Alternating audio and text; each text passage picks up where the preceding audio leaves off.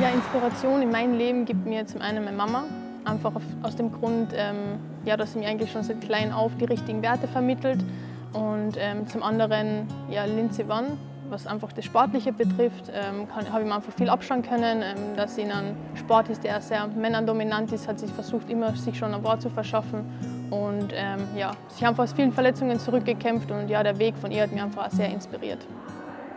Also mich inspiriert meine Oma. Ähm, es gibt glaube ich ganz, ganz viele Gründe, aber so der größte oder für mich wichtigste Punkt ist einfach, dass sie so irrsinnig fürsorglich ist, nicht nur für mich, sondern für die ganze Familie. Wir sind eine große Familie, dementsprechend viele Enkelkinder und sie gibt einfach wahnsinnig viel Wärme und Liebe an uns ab und ähm, ja, ich hoffe, dass ich vielleicht später irgendwann mal so ein bisschen bin wie sie. Und deswegen inspiriert mich sie schon sehr, schon seit Kind auf und wird, glaube ich, immer so bleiben. Ich glaube, eine Familie kann immer inspirieren und ich glaube, bei Familie kann man sehr, sehr viel lernen und ist, glaube ich, auch ähm, als Kleinkind äh, die erste ja, Sicht, wo man sagt, okay, da schaue ich hoch, so möchte ich vielleicht werden oder den Job würde ich gerne nachgehen. Ich glaube, Familie steht da als erster Punkt ganz oben und ist, glaube ich, der erste Punkt, woran man sich im Leben auch orientieren wird. Ja, speziell in den letzten Jahren durfte ich äh, sehr viele starke, beeindruckende und für mich inspirierende Frauen kennenlernen, die sich ähm, für Chancengleichheit und Gleichstellung einsetzen und auf unterschiedlichen Ebenen, in unterschiedlichen Berufsfeldern ähm, durch ihre Sichtbarkeit Rollenbilder aufbrechen und andere Frauen dazu ermutigen, ihren eigenen Weg zu gehen. Und ähm, wenn ich eine Frau in meinem Leben hervorrufen darf, dann ist das in diesem Fall sicher meine Mama, weil sie hat sich in den 80er Jahren ein Mädchen gewünscht. Ich habe dann gesagt, dann kam ich. Und aufgrund ihrer Einstellung ähm, ja, und hat sie mich in meinen äh, Interessen bestärkt. Ähm, ich glaube, es war damals sehr unüblich, dass ein Mädchen ähm, Fußball spielen wollte.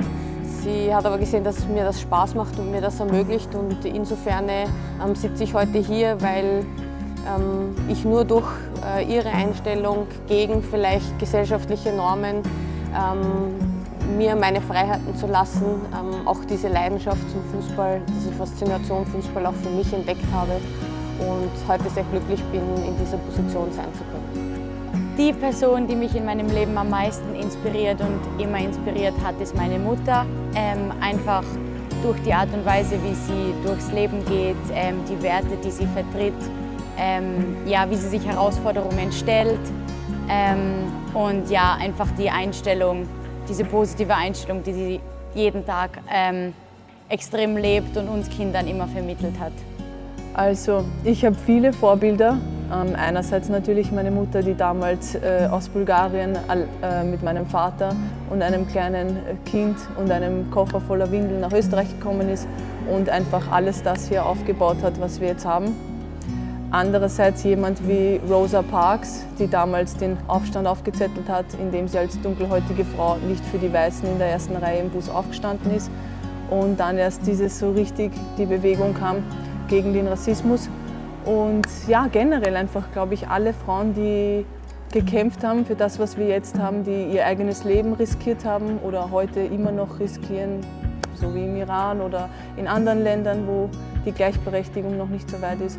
Und ich glaube, alle diese Frauen einfach, die sich für uns, für sich selber und für die anderen einsetzen, damit wir weiterkommen in unserer Gesellschaft, die sind alle große Vorbilder für mich.